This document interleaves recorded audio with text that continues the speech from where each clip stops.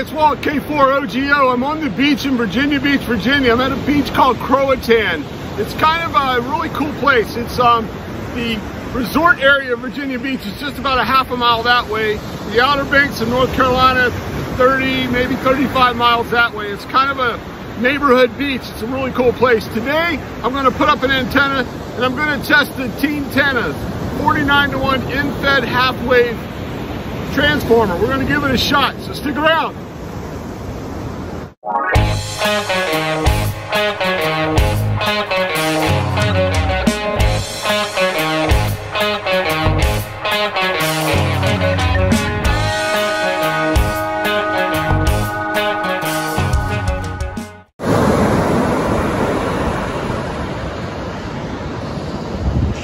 here's what we're working with today.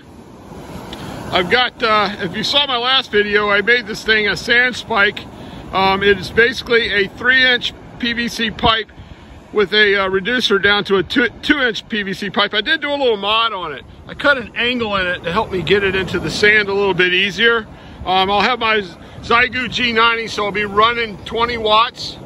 I have the DX Commander travel pole. That'll give me enough room to get a true half wave 20 meter vertical so this end-fed half wave will be a true end-fed half wave. Uh, got the wires already cut. Got one cut to half of wave for 20 meters in the general portion. And I've also got a 5% of that.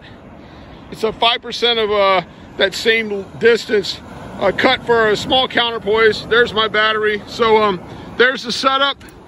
Let's put it all together. Check it out. If you're interested in this transformer, I purchased it on eBay. TennTennas. I got it for $34.95 plus shipping. I also built all of my antennas out of standard monster speaker cable I get at Walmart. This antenna was built like this, a halfway vertical wire in the general area of the 20 meter band, and I also put a 5% wavelength small counterpoise down at the bottom. Okay, here it is, all set up just amazes me how quick this DX Commander travel pole goes up. I'm gonna go up and check it out. This thing really does go up very easy. I usually just extend the pole, lay it over my uh, beach chair, tape the wire to it, then drop it in the uh, sand spike and attach the unun. It's really that simple. Okay, so there's the 49 to 1 TennTenna's unun end-fed half-wave transformer. There's my uh, coastal waves and wires sand spike, as we're gonna call it. There's the wire, headed way up to the top of the DX Commander travel pole. So we're gonna give it a shot. See if we can get some DX today. Wish me luck. All right, let's do an SWR scan on this thing. Just check out what this antenna looks like on SWR here. Wow. Just wow. How amazing is that? That's awesome. That's pretty awesome. Kilo 4, Oscar, Golf Oscar, 5 and 9. Uh, 5 9 into uh, Virginia Beach, Virginia, 73. Thank you. Italy, Italy 3, Whiskey Radio, Tango Charlie. That didn't take long. Cut it on. Italy, right off the bat. Pretty cool. Okay, it seemed like I had a direct pipeline into Italy. Made quite a few QSOs there. Also made a nice QSO up to uh, Nova Scotia, so straight up the Atlantic coast. A lot of uh, things going on on 20, and I just uh, didn't want to get sit there and get into the pileups. So I figured out, hey, I'd give it a try on 17 and maybe 15. Okay, here's the uh, SWR on 17. As you can see, it's it's workable. With the tuner, this is workable. Here's the SWR on 15. I think we can work with that too with the tuner. On 17, I made QSOs with Italy, Belgium, Switzerland, and this really cool one with Northern Ireland.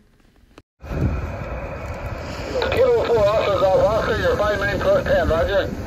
Uh, you're 5'9 plus 10. I'm on the beach in uh, Virginia Beach, Virginia with just 20 watts in a wire.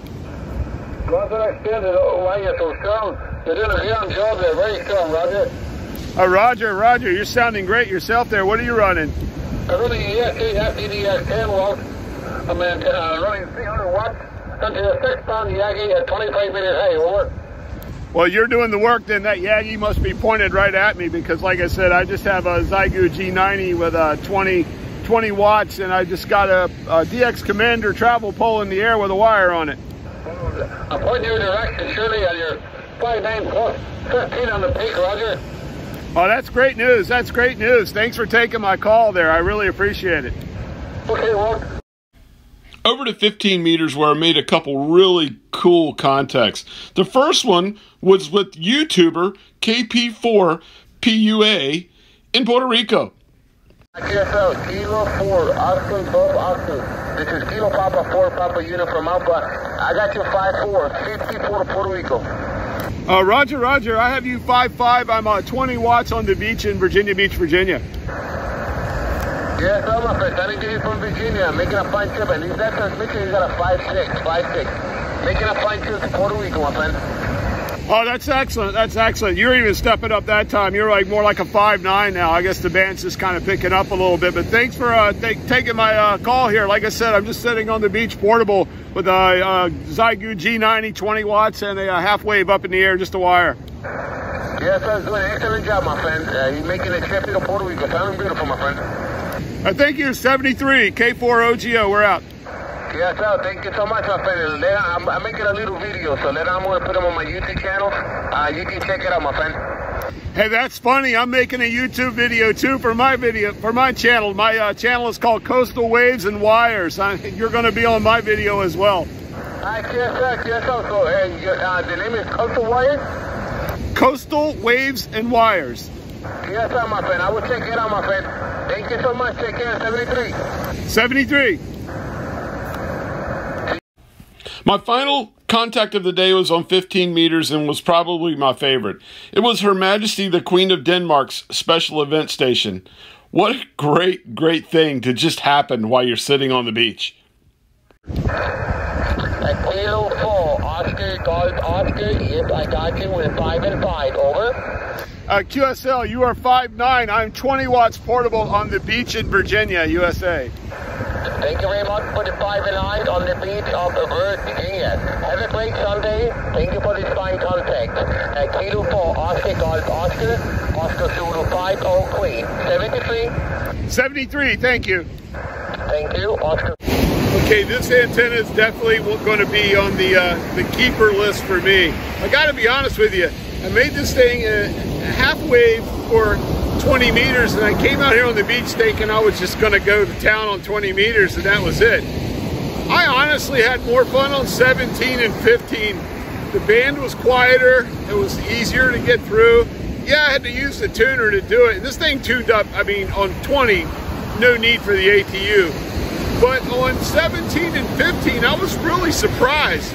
I know, I, you know, like I said, I thought I was going to come out here all morning and just work 20 meters, but when I went and checked and saw the SWR was low enough to use the tuner and then do it, um, man, what a what a blast! That was really great. You know, I know the band conditions had a lot to do with it, but uh, I really enjoyed it. And like I said, this uh, this uh, TennTennas uh, box here, the, the, transformer, definitely a keeper. I would highly recommend getting one. They're inexpensive and they're well built, you can tell. I'm really pleased. I don't know the guy that built it. I just saw it on eBay and bought it and I'm out here trying it. And I tell you what, I'm glad I did. Anyway, I hope you enjoyed the video. If you did, please ring the bell and subscribe.